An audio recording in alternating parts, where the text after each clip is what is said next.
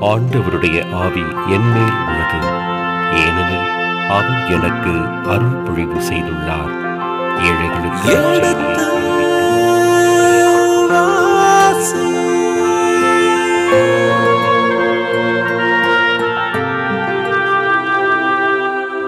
எடுத்து வாசி.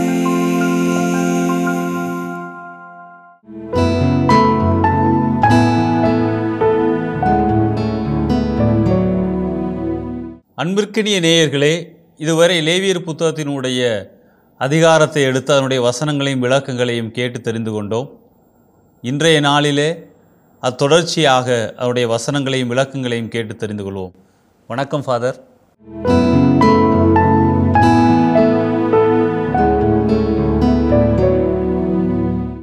அன்பிற்கினிய மாதா தொலைக்காட்சி நேயர்களே இதுவரை நாம் லேவியர் புத்தகத்திலே பதினாறாவது அதிகாரத்தினுடைய விளக்கங்களையும் அதை எளிமையான முறையிலே நாம் இவ்வாறெல்லாம் நம்முடைய அன்றன்ற வாழ்விலே பயன்படுத்தி இறைவனை இன்னும் அதிகமாக நெருங்கி செல்லலாம் என்பதை பற்றி அருத்தந்தை அவர்கள் நமக்கு மிகவும் தெளிவாக எடுத்து கூறினார்கள். இப்பொழுது லேவியர் புத்தகத்தின் பதினேழாவது அதிகாரத்தினுடைய விளக்கத்தை கேட்டு அதனால் பயன்பெறுவோம். லேவியர் புத்தகத்தினுடைய ஒவ்வொரு பகுதியாக பார்த்து கொண்டிருக்கிறோம். இப்பொழுது பதினேழாம் அதிகாரத்துக்குள் நுழைய இருக்கிறோம் மீண்டும் இந்த பழையவற்றை நாம் நினைவுபடுத்துவது நல்லது. ஏனென்றால் இது புதிய பிரிவு. லேவியர் புத்தகத்தில் இருக்கிற ஆறு பிரிவுகளில் இது இறுதி பிரிவு. இறுதி பிரிவு. முதல் பிரிவு காணிக்கை பலிகளுக்கான சட்டங்கள் ஒன்று முதல் ஏழு முடிய. அதன் பிறகு இரண்டாவது பகுதி ஆரோன் அவருடைய புதல்வர்கள் அவர்களுடைய திருநிலைப்பாட்டுக்கான நெறிமுறைகள். எட்டும் ஒன்பதும் அதிகாரங்கள். அதற்கடுத்து ஆம், ஆரோனுடைய புதல்வர்களுடைய குற்றங்கள். குற்றங்கள். இரு புதல்வர் இரு புதல்வர்களுடைய குற்றங்கள். அது பத்தாம் அதிகாரம். அதற்கடுத்து நான்காவது பகுதி குருக்களின் தூய்மையும் தீட்டும் பற்றிய சட்டங்கள். பதினொன்று முதல் பதினைந்து அதிகாரங்கள். ஐந்தாவது பகுதியாக பாவ கழுவாய் நாள். தான் அட்டோன்மெண்ட் டே அல்லது யோம் கிப்பூர் என்று அழைக்கிறோம். பதினாறாம் அதிகாரம் முழுமையும். இப்பொழுது ஆறாவது பகுதியாக தூய்மையான வாழ்விற்கும் வழிபாட்டிற்குமான சட்டங்கள். பதினேழு முதல் இருபத்தி ஏழு முடிய பதினோரு அதிகாரங்கள் இதில் இருக்கிறது. இப்பொழுது நாம் இந்த ஆறாவது பகுதியினுடைய ஒட்டுமொத்த விளக்கத்தையும் அதே போல அதில் உள்ள பிரிவுகளையும் பார்த்துவிட்டு ஒவ்வொரு அதிகாரமாக போகலாம். எனவே இந்த ஆறாவது பகுதி தூய்மையான வாழ்விற்கு வழிபாட்டிற்கு உரிய சட்டங்கள் என்கிற தலைப்பிலே வருகிறது. தூய்மையான சட்டம் அப்படின்னா ஆங்கிலத்தில் ஹோலினஸ் கோட் என்று சொல்வார்கள் அஹ், ஏறக்குறைய லேவியர் புத்தகம் முழுவதுமே தூய்மை சட்டத்தை பற்றியது தான் குறிப்பிடுகிறது. நாம் பலமுறை சொல்லியிருக்கிறோம் இதனுடைய மைய சிந்தனையே தூய்மை. அதுவும் குறிப்பாக நான் தூய்மையாக இருப்பது போல நீங்களும் தூய்மையாக இருக்க வேண்டும் என்கிற இறைவனுடைய அடித்தள சிந்தனை. என்றால் இறைவனுடைய யாவை இறைவனுக்கு அடித்தளமாக இருக்கிற சிந்தனை சிந்தனையே நான் தூயவர். நாம் தூயவர் நீங்களும் தூயவர்களாக இருக்க வேண்டும். இந்த லேவியர் புத்தகம் முழுமைக்கும் அது இருந்தாலும் இந்த பதினேழு முதல் இருபத்தி ஏழு அதிகாரங்கள் தூய்மை சட்டங்கள் என்கிற அந்த தலைப்பின் கீழ் வருகிறது. ஏனென்றால் இது குறுக்குவளுடைய தூய்மையை பற்றி பேசுகிறது காணிக்கைகளின் தூய்மையை பற்றி பேசுகிறது சமய விழாக்களை பற்றி பேசுகிறது சந்திப்பு கூடா கூடாரத்தை பற்றி பேசுகிறது இரத்தத்தின் தூய்மை பற்றி பேசுகிறது பாலியல் குற்றங்கள் பற்றி பேசுகிறது தூய வாழ்வு பற்றி பேசுகிறது லேபியருக்கான கட்டளைகளை தூய வாழ்வுக்கான கட்டளைகள் பற்றி பேசுகிறது. எனவே ஏறக்குறைய பலிகளை பற்றி பிற பகுதிகள் அழுத்தி கூறுகின்ற போது இங்கு முழுக்க முழுக்க தூய்மை ஒரு பேசும் பொருளாக இருக்கிறது. அந்த அடிப்படையில் தான் நாம் இதை தூய்மை சட்டம் என்று சொல்கிறோம் இந்த தூய்மை சட்டம் லேவியர் புத்தகத்தினுடைய கடைசி பகுதியில் வந்தாலும் அதாவது பதினேழு முதல் இருபத்தி ஏழு அதிகாரங்கள் இருந்தாலும் இதை ஹோலினஸ் கோட் ஒன்று என்று கூட சொல்லலாம். முதல் பகுதி என்று கூட சொல்லலாம். அதாவது தூய்மை சட்டத்தினுடைய முதல் பகுதி. அப்படின்னா இரண்டாவது பகுதி இருக்க வேண்டும். இருக்க வேண்டும். அந்த இரண்டாவது பகுதி எங்கு எங்கு காண முடியும்? இணை சட்டத்தில் இருக்குது? இல்லை. இந்த இரண்டாவது பகுதி என்னாகமத்தில் இருக்கிறது. என்னாகமத்தில். என்னாகமத்திலே முதல் அதிகாரம் ஒன்றிலிருந்து பத்தாம் அதிகாரம் பத்து முடிய இந்த தூய்மை சட்டத்தினுடைய இரண்டாம் பகுதி அமைகிறது. அதன் பிறகுதான் என்னா என்னாகமத்தினுடைய அல்லது எண்ணிக்கை நூலினுடைய அந்த வரலாற்று பகுதிகள் வரலாற்று பகுதி தொடங்குகிறது. நிகழ்ச்சி பகுதிகள் தொடங்குகிறது. அந்த நிகழ்ச்சி பகுதிகளுக்கு ஒரு முன்னுரை போலவே இந்த ஒன்று முதல் பத்து அதிகாரங்கள் பத்து பத்தாம் அதிகாரம் முழுமையாக இல்லை. பத்தாம் அதிகாரத்தில் பத்து வசனங்கள் மட்டும் இந்த இரண்டாவது பகுதியாகிய தூய தூய்மை தூய்மை சட்டத்தினுடைய இரண்டாவது பகுதியாக அமைகிறது. எண்ணாகமத்திற்கு வருகின்ற போது அந்த பகுதியை பற்றி விளக்கமாக பார்ப்போம். இப்பொழுது இந்த தூய்மை சட்டத்தினுடைய முதல் பகுதி. என்றே இதை எடுத்துக்கொள்ளலாம். சரி இந்த பதினோரு அதிகாரங்களையும் தூய்மை சட்ட சட்டம் என்கின்ற போது இந்த இது லேவியர் புத்தகத்தில் இருப்பதனால நாம் இதை நேரடியாக அழுத்தம் திருத்தமாக சொல்லிவிடலாம். இது குருக்கள் மரபு. குருக்கள் மரபு. அல்லது லேவியர் மரபு. லேவியர் மரபு என்றாலே குருக்கள் மரபு தான். நாம் ஏற்கனவே நான்கு மரபுகளை பற்றி அறிந்திருக்கிறோம். யாவே மரபு இருக்கிறது. எலோகி மரபு இருக்கிறது. இணைச்சட்ட மரபு இருக்கிறது. இது குருக்கள் மரபு எனவே யாவை மரபு என்பது யாவேயை இறைவன். என்று அழைத்த மரபு. எலோகிம் என்றால் எலோகிம் என்ற பெயரை இறைவனுக்கு சூட்டிய மரபு. அதில் யாவே என்றால் தென்னாட்டு மரபு எலோகிம் என்றால் வடநாட்டு மரபு. எனவே வடநாட்டு மக்கள் இறைவனை யாவை என்று அழைக்க மாட்டார்கள். நேரடியாக அவர்கள் பேச மாட்டார்கள். அவருடைய பெயரை சொல்ல மாட்டார்கள். சொன்னாலே அது வந்து அழிந்து போகின்ற ஒரு செத்து போகின்றவர்கள் மடிந்து போவார்கள் என்ற பயம் இருந்தது. இறைவன் இறைவன் குறித்து உள்ள அனைத்துமே தூயது என்கிற நிலைப்பாடு இருந்தது. அதனால அவரை நெருங்கக்கூடாது உடன்படிக்கை பேழையை நெருங்கக்கூடாது என்கிற சித்தாந்தங்கள் எல்லாம் இந்த எலோகி மரபை சார்ந்தது. யாவை மரபு அப்படி அல்ல. யாவை மரபு நெருக்கமான மரபு உடன்படிக்கை பிழை இருக்கிற கூடாரம் கூட மக்கள் வாழ்கின்ற பகுதியில் மத்தியில் இருக்கு மத்தியில் இருக்கு. எருசலேம் ஆலயத்துக்கும் அரசனுடைய அரண்மனைக்கும் அருகிலே இருக்கு பக்கத்துக்கு பக்கத்து பக்கத்தில் இருக்கு. தாவீது அரசன் ஆடி பாடி அந்த உடன்படிக்கை பிழையை அழைத்து வருவான். இதுதான் யாவை மரபு. யாவையை நண்பன் போல யாவை நடந்து செல்வார் ஆபிரகாமோடு நடந்து செல்வார் ஏனோக்கோடு நடந்து ஏனோக்கோடு செல்வார். நடந்து செல்வார். ஆக நெருக்கமான மரபு யாவையை நெருக்கமாக பார்க்கிற மரபு இணைச்சட்ட மரபு என்பது சட்டம் சார்ந்தது. இணைச்சட்ட நூலை எழுதிய ஆசிரியர்கள் இந்த மரபுக்கு முக்கியமான காரணமாக இருக்கிறார்கள். இந்த இணைச்சட்டம் என்பது வடநாட்டு தென்னாட்டு மரபினுடைய ஒரு இணைப்பு. இது திருச்சட்டத்தை இவர்கள் பின்பற்றவில்லை. எனவே திருச்சட்டம் நல்ல புரிதலுக்கு உட்படுத்தப்படவில்லை. இதை சரியான புரிதலோடு பார்வையோடு பார்க்க வேண்டும் என்கிற எண்ணத்திலே இந்த இரண்டு மரபுகளும் அதாவது வடநாடு தென்னாடு இரண்டு இரண்டும் சேர்ந்து இணைந்து ஒரு புதிய சட்டத்தை சினாய்மலை உடன்படிக்கையிலிருந்து ஒரு புதிய சட்டத்தை உருவாக்கிய. அந்த மரபைத்தான் நாம் இந்த இணைச்சட்ட மரபு என்று சொல்கிறோம். குருக்கள் மரபு என்பது வழிபாட்டிலே ஏதோ பிரச்சனை. வழிபாடு சரியாக முறை இல்லை பிற தெய்வ வழிபாட்டுக்கான ஒரு ஏக்கம் மக்களுக்கு மக்கள் இருக்கிறது. அதிலிருந்து திசை திருப்பி இந்த வழிபாட்டை சரி செய்ய வேண்டும். தென்னாடு நாடு கடத்து பெறுவதற்கு இந்த வழிபாட்டிலே பிரச்சனை இருந்தது. சரியான வழிபாட்டு முறையை பின்பற்றாது ஒரு காரணம் என்று அவர்கள் நினைத்தார்கள். எனவே குருக்கள் எல்லாம் சேர்ந்து இந்த வழிபாட்டை ஒரு புதுமைப்படுத்தினார்கள். அதைத்தான் நாம லேவியர் மரபு என்று அழைக்கிறோம். அல்லது குருக்கள் மரபு குருக்கள் என்று மரபு. அழைக்கிறோம். எனவே அந்த குருக்கள் மரபு சார்ந்தது தான் இந்த தூய்மை சட்டம். தூய்மை. யாவே இறைவனது இயல்புகளில் அடித்தளமானது இந்த தூய்மை. யாவே இறைவனுக்கு பல இயல்புகள் இருக்கிறது. அவர் இரக்கம் உள்ளவர் அவர் எப்போதுமே அன்புள்ளவர். அவர் எல்லாவற்றையும் கடந்தவர் என்று சொல்லுகிறோம். கண்களுக்கு பு புலப்படாதவர் என்று சொல்லுகிறோம். இப்படி யாவி இறைவனுக்கு பல இயல்புகள் இருக்கிறது அந்த இயல்புகளில் அடிப்படையான இயல்பு தூய்மை. தூய்மை. நம்ம இந்த புத்தகத்தில் பல்வேறு இடங்களில் இதை பார்க்கலாம். பத்தொன்பதாம் அதிகாரம் இரண்டாம் வசனம்.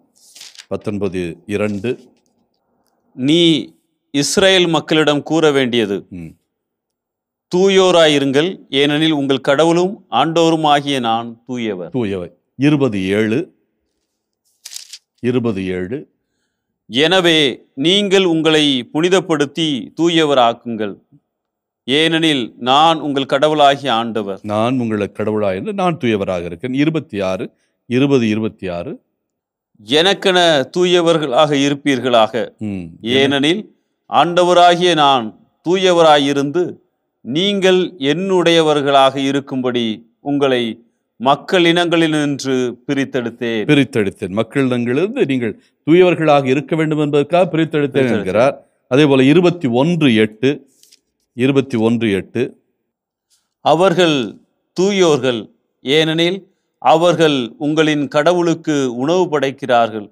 உங்களை தூய்மையாக்கும் நான் தூயவனாய் இருப்பதால் உங்களுக்கு தூயோராய் அவர்கள் இருப்பார்கள். உங்களை தூயவ தூயவர்களாக மாற்றுகிறவரே நான் தான் என்று சொல்கிறார் ஆக இப்படி நிறைய வசனங்கள் இந்த லேவியர் புத்தகத்தில் இருக்கிறது. இறைவன் தூயவர் எனவே மக்களும் தூயவர்களாக இருக்க வேண்டும் என்று பல்வேறு இடங்களில் தூய்மையை பற்றி பேசப்படுகிறது. அது மட்டுமல்ல மக்கள் மட்டும் தூயவர்கள் அல்ல தூயவர்களாக இருக்க வேண்டும் என்பதல்ல. இந்த தூய்மை சட்டம் இறைவனோடு தொடர்புடைய பலவற்றை பற்றி பேசுகிறது. இந்த பகுதியில் நாம் பதினேழு முதல் இருபத்தாறு வரை உள்ள அதிகாரங்களை பார்த்தோம் என்றால் இறைவனோடு தொடர்புடைய இடங்கள் அதே போல் உடன்படிக்கை பேழை காலங்கள் குருக்கள் இஸ்ராயல் மக்கள் கூட்டமைப்பு பொருள்கள் இவையெல்லாம் இறைவனோடு தொடர்புடையவை. இந்த தொடர்புடைய அத்தனையும் தூய்மை உடையவை என்பது பற்றிய சிந்தனை இந்த பகுதியில் இடம்பெறுகிறது. எனவே இறைவனோடு யார் யார் தொடர்புடையவர்களோ எது எது தொடர்புடையதோ அவையெல்லாம் தூய்மை என்று இங்கே சுட்டிக்காட்டப்படுகிறது. நான் சுட்டி நான் குறித்து காட்டியது போல உடன்படிக்கை பேழை இஸ்ராயல் மக்கள் கூட்டம் குருக்கள் பொருட்கள் காலங்கள் இடங்கள் அவ்வளவும் தூய்மை உடையது என்ப என்கிற சித்தாந்தத்தை இங்கே நாம் பார்க்க முடிகிறது. தூய்மை தூய்மைப்படுத்தும் சடங்குடன் தொடர்புடையது. ஏனெனில் தூய்மை வழிபாட்டை மையப்படுத்துவது. எதுக்காக சடங்கு தூய தூயது என்று சொல்கிறோமோ the purity of the ritual purity ஆங்கிலத்தில் ரிச்சுவல் பியூரிட்டி என்று சொல்வார்கள். தூய்மைக்கான சடங்குகள். எனவே தூய்மைக்கான சடங்குகள் தூய்மையோடு தொடர்புடையது. ஏனென்றால் இந்த தூய்மையானது வழிபாட்டோடு தொடர்புடையது. தூய்மை சடங்கும் வழிபாட்டோடு தொடர்புடையது. எனவே எப்பொழுது தூய்மை சடங்கு வழிபாட்டோடு தொடர்புடையதோ அப்பொழுது வழிபாடும் தூயது. தூயது. எனவே இந்த வழிபாட்டு தூய்மையை பற்றியும் இந்த பகுதி விரிவாக பேசுகிறது. இந்த புதுமை சட்டம் என்பது தூய்மை சட்டத்தை இணைத்தே பார்ப்பது. புனித சட்டம் அதாவது தூய்மையும் புனிதமும் ஏறக்குறைய ஒரே சிந்தனையில் பார்க்கக்கூடியது. அதாவது ஹோலினஸ் கோட் என்று சொல்கிறோம் ஹோலினஸ் கோட் என்று சொல்கிற போது அது தூய்மையும் குறிக்கிறது புனிதத்தையும் புனிதத்தை குறிக்கிறது. குறிக்கிறது. புனிதத்தையும் குறிக்கிறது. பியூரிட்டி பியூரிட்டி ஆங்கிலத்தில் பியூரிட்டி என்று சொல்வார். பியூரிட்டி என்றால் தூய்மை. தூய்மை. ஹோலினஸ் என்றால் புனிதம் புனிதத்துவம். எனவே இந்த புனிதத்துவமும் தூய்மையும் இணைந்தே பார்க்கப்படுகிறது. The ritual purity and the holiness holiness இந்த ரெண்டுமே இணைந்து பார்க்கப்படுகிறது. ஒருவர் தூய்மையானவர் என்றால் அவருடைய மனசாட்சி தூய்மை தூய்மையானது. அப்படி என்றால் அவரிடத்தில் பாவம் இல்லை பாவம் இல்லை என்றால் என்ன பொருள்? அவர் தூய்மையானவர். தூய்மையான அப்ப தூய்மையற்றவர் பாவம். பாவமுடையவர். இப்ப யார் யார் பாவம் பாவம் செய்கிறார்களோ பாவத்தில் வாழ்கிறார்களோ அவர்களெல்லாம் தூய்மையற்றவர்கள். தூய்மையற்றவர்கள் குறைவுள்ளவர்கள் குறைவுள்ளவர் குறைபாடு உடையவர்கள். குறைபாடுகள் என்றால் உடல் குறைபாடு அல்ல. மாறாக மனதளவிலே தவறுகளில் சிந்தனைகளில் தீமையை தீவினையை கருக்கொள்கிறவர்கள். அவர்கள் உள்ளத்திலே சிந்தனையிலே தீமை எப்போதும் இருந்து கொண்டிருக்கும். எனவே அந்த தீமையை கருக்கொள்கிறவர்களைத்தான் நம்ம பாவிகள் என்று சொல்லுகிறோம். அந்த பாவிகள் தூய தூயவர்கள் அல்ல தூய்மையற்றவர்கள். ஆனால் மன தூய்மை இருக்கிறதே. மன தூய்மை என்றால் மனசாட்சி தூய்மையாக இருக்கிறது அல்லவா? அந்த மனசாட்சி தான் உண்மையான தூய்மையை குறிக்கிறது. எனவே தூய்மை அல்லது புனிதம் என்பது தூய்மை சட்டத்தினுடைய கருப்பொருள். தூய்மை என்பது இறைவனுடைய இயல்பாக பேசப்படுகிறதோ இறைவனுடைய தன்மையாக பேசப்படுகிறதோ அதே போல தூய்மை அல்லது புனிதம் என்பது தூய்மை சட்டத்தினுடைய கருப்பொருளாக பேசப்படுகிறது. யாவே இறைவன் அவர் ஒருவரே தூயவர் அவர் யாவற்றிலும் வேறுபட்டவர். இந்த உலகத்தில் இருக்கிற அத்தனையிலுமிருந்தும் அது படைப்புகளாக இருந்தாலும் சரி அல்லது அண்ட சராசரங்கள் அத்தனையாக இருந்தாலும் சரி அத்தனையிலும் வேறுபட்டவர். மனிதனை சார்ந்த உலகத்திலிருந்து வேறுபட்டவர். அவர்தான் உலகத்தை படைத்தார். அண்ட சராசரங்களை படைத்தார். விண்ணையும் பூமியையும் விண்ணையும் மண்ணையும் படைத்தார். ஆனால் அந்த படைத்தவர் அத்தனையிலிருந்தும் வேறுபட்டு இருக்கிறார் இவை யாவற்றையும் கடந்து இருக்கிறார் இறைவன் டிரான்சென்டன்ட் என்று சொல்கிறோம் கடவுளை வந்து கடந்தவர். என்று சொல்கிறோம் மனிதன் அறியக்கூடிய அனைத்திலும் இருந்து வேறுபட்டவர். அப்படி என்றால் இந்த கடவுள் என்ன எதிர்பார்க்கிறார்? இந்த இஸ்ராயேல் மக்கள் கூட்டமைப்பும் இறைவனின் இந்த பண்பை இந்த தன்மையை தனதாக்கி கொள்ள வேண்டும். அப்படின்னா என்ன பொருள்? தனதாக்கி கொள்ள வேண்டும் என்றால் இறைவனுடைய நாமும் தன்மை என்ன? தூய்மையாக வேண்டும். இறைவன் தூய்மையாக இருப்பதனால இவர்களும் தூய்மையாக இருக்க வேண்டும். ஏனென்றால் எகிப்திலிருந்து விடுவித்து சீனாய் மலை அடிவாரத்தில் யாவே இஸ்ரேல் மக்களை புனிதப்படுத்தினார். இவர்களை புனிதப்படுத்துவதற்காகவே இஸ்ராயேல் மக்களை எங்கிருந்து அழைத்து வந்திருக்கிறார்? எகிப்திலிருந்து. எகிப்திலிருந்து அழைத்து வந்திருக்கிறார். நீங்கள் எகிப்தில் இருந்தபோது மக்களினங்கால் இளங்களாவே இல்லை. உங்களை நான் பாலைவனத்தில் கொண்டு வந்து உங்களை ஒரு மக்களினங்களாக உருவாக்கினேன் என்கிறார். இவர்கள் உருப்படுத்தப்படுகிறார்கள் உருவாக்கப்படுகிறார்கள். எப்படி? தங்கத்தை நெருப்பில் இட்டு அதை அழகுமிகு அணிகலன்களாக மாற்றுகிறார்களோ அதே போல யாவே இறைவன் இஸ்ராயேல் மக்களை இந்த பாலை நிலத்தில் என்ன செய்கிறார்? உருமாற்றுகிறார். உருமாற்றுகிறார். அவர்களை அவர்களை மனித இனங்களாக மக்களினங்களாக தூய மக்களினங்களாக மாற்றுகிறார். அந்த செயல்தான் இந்த பாலைவனத்தில் நிகழ்கிறது. அந்த பாலைவனத்தில் இந்த நிகழ்ச்சி நடப்பதற்கு சீனாய் மலை உடன்படிக்கை மிக முக்கியமானதாக இருக்கிறது. பத்து கட்டளை என்பது இவர்களை உருவாக்குவதற்கு உருமாற்றுவதற்கு இறைவன் பயன்படுத்திய வழிமுறை. வழிமுறைகள். பத்து கட்டளை என்பது சட்டங்கள். நீங்கள் இப்படியெல்லாம் வாழ வேண்டும். இது அறநெறி சட்டம். எத்திக்கல் கோடு என்று ஆங்கிலத்தில் சொல்வார்கள். அறநெறி சட்டம். இந்த அறநெறி சட்டம் பத்து கட்டளை என்பது இவர்களை உருவாக்குவதற்கு இவர்களை தூய்மையான மக்களாக மாற்றுவதற்கு ஒரு அடித்தளமாக இருந்தது. எனவே யாவேயின் இந்த தூய்மையை யாவேயின் இந்த புனித நிலையை இந்த மக்கள் இறுதி வரை பேண வேண்டும். இறுதி வரை கடைபிடித்து வாழ வேண்டும். எனவே இந்த சித்தாந்தத்தின் அடிப்படையில் தான் நாம் இந்த தூய்மை சட்டங்களை பார்க்க வேண்டியிருக்கிறது. ஆறாவது பகுதியாகிய தூய்மையான சட்டம். தூய்மைக்கான தூய்மையான வாழ்விற்கும் வழிகாட்டிற்குமான இந்த சட்டங்களை இந்த தூய்மை இறைவனுடைய புனிதம் இறைவன் மக்களிடத்தில் எதிர்பார்க்கிற தூய்மை அவர்கள் வாழ வேண்டிய தூய்மையான வாழ்வு இந்த சூழ்நிலையில் இந்த சிந்தனையில் நாம் இந்த அதிகா ப- இந்த பகுதிகளை பார்க்க வேண்டியிருக்கிறது. இந்த அடிப்படையில் இப்பொழுது நாம் பதினேழாம் அதிகாரத்திற்கு செல்லுவோம். செல்வோம் இப்பொழுது இந்த ஆறாவது பகுதியாகிய தூய்மையான வாழ்விற்கு வழிபாட்டிற்கான சட்டங்கள் என்கிற தலைப்பில் நாம் பொதுவான முன்னுரையை பார்த்தோம்.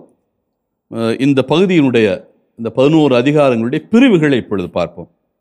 இந்த பிரித்து பார்ப்பது இந்த பகுதிகளை பிரித்து பிரித்து நாம் வாசிப்பது அல்லது அதற்கு அர்த்தம் அல்லது பொருள் காண விழைவது மிக மிக முக்கியம்.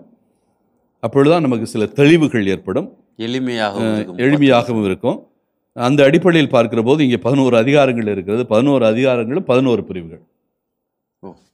ஒவ்வொரு அதிகாரமே ஒரு தனி. சிந்தனையை கொண்டிருக்கிறது. தனி மைய கருத்தை கொண்டிருக்கிறது.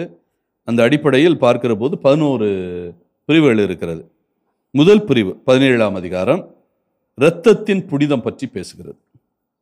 இரண்டாவது பகுதி பதினெட்டாம் அதிகாரம் குற்றங்கள் குற்றங்கள் பற்றி பேசுகிறது. மூன்றாவது பகுதி பத்தொன்பதாம் அதிகாரம் தூய வாழ்வும் லேவியருக்கான பத்து கட்டளை அதாவது குருக்கள் பத்து கட்டளை என்று கூட சொல்லலாம். இது ஆங்கிலத்தில் இந்த பிரிஸ்லி. கோட் என்று கூட சொல்லுவார்கள். அல்லது லெவிட்டிக்கல் கோட் எனவே லேவியர் பத்து கட்டளை என்று சொல்லுவதே சரியாக இருக்கும். இது குருக்கள் உருவாக்கியது என்றாலும் அது லேவியர் பத்து கட்டளை என்று தான் சொல்ல வேண்டும். அதாவது லேவியர்கள் தங்களுடைய வாழ்க்கையில் தங்களை தயாரித்துக் கொள்வதற்கு வாழ்க்கையை சரி செய்து கொள்வதற்கு அல்லது புனிதப்படுத்துவதற்கான பத்து கட்டளைகள். அதன் பிறகு நான்காவது பகுதி இருபதாம் அதிகாரம் பல்வேறு குற்றங்களுக்கான தண்டனைகள். ஐந்தாவது இருபத்தோராவது அதிகாரம் குருக்களின் தூய்மை பற்றி பேசுகிறது. ஆறாவது பகுதி இருபத்தி ரெண்டாம் அதிகாரம் காணிக்கைகளின் தூய்மை பற்றி பேசுகிறது. ஏழாம் பகுதி இருபத்தி மூன்றாம் அதிகாரம் சமய பெருவிழாக்கள் பற்றி பேசுகிறது. எட்டாம் பகுதி இருபத்தி நான்காம் அதிகாரம். சந்திப்பு கூடாரத்தில் விளக்குகள் திருமுன்னிலை அப்பங்கள் இறைவனுக்கு எதிராக பழித்துரைத்தல் ஆகிய சிந்தனைகளை பற்றி பேசுகிறது. ஒன்பதாவது பகுதி இருபத்தி ஐந்தாம் அதிகாரம் ஜூபிலி ஆண்டு. அதை பற்றி பேசுகிறது. ஐம்பதாம் ஆண்டு என்று கூட அதை சொல்லலாம். பத்தாவது பகுதி இருபத்தி ஆறாவது அதிகாரம் ஆசீரும் சாபமும். இறுதியாக பதினோராவது பகுதி இருபத்தி ஏழாம் அதிகாரம். ஆண்டவருக்கு நேர்ந்தவற்றை மீட்டெடுக்கும் நெறிமுறைகள். உதாரணமாக நேர்ந்தளிக்கின்றவர்களை மீட்டு கொண்டு வருவது. ஒரு தலைச்சன் குழந்தை பிறந்திருந்தால் அந்த குழந்தை இறைவனுக்கு சொந்தமானது. லேவியர் சட்ட பிரகாரம் அந்த குழந்தையை மீட்டெடுப்பது எப்படி என்பதற்கான நெறிமுறைகள் ஆடு மாடுகள் கூட அதில் உள்ளடங்கும் அல்லது பொருட்கள் கூட உள்ளடங்கும். ஆக இப்படி பதினோரு அதிகாரங்களும் பதினோரு பிரிவுகளாக இருக்கிறது. நான் ஏற்கனவே சொன்னேன் இந்த பதினோரு அதிகாரங்களும் தூய்மை சட்டங்கள் ஒன்று என்கிற அல்லது முதல் பகுதி என்கிற சிந்தனைக்குள் வருகிறது. தூய்மை சட்டங்கள் இரண்டு என்பது என்னாகமும் ஒன்று முதல் ஒன் ஒன்றாம் வசனத்திலிருந்து அஹ், பத்தாம் அதிகாரம் பத்தாம் வசனம் வரை செல்கிறது. இதில் இருபத்தி ஏழாம் அதிகாரம் என்பது இது பதினோராவது பகுதி என்று சொன்னால் கூட இதை வந்து இணைப்பு என்றுதான் அஹ், விவிலிய பேரறிஞர்கள் சொல்லுகிறார்கள்.